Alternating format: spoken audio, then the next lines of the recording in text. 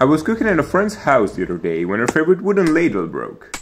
Because who doesn't have one? So, of course, I had to fix that. And since apparently I have a lot of free time, I decided to make it the old way. Because why not? Using only hand tools is a perfectly good way to lose an entire afternoon.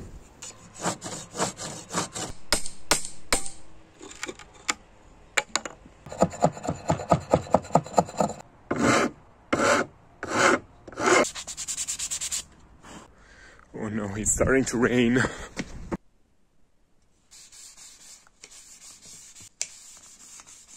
And that's it. If I have to be honest, I really don't like how this darker corner turned out to be here, because I thought it was gonna be way much cooler. But I mean, it's a present, just take it and shut up.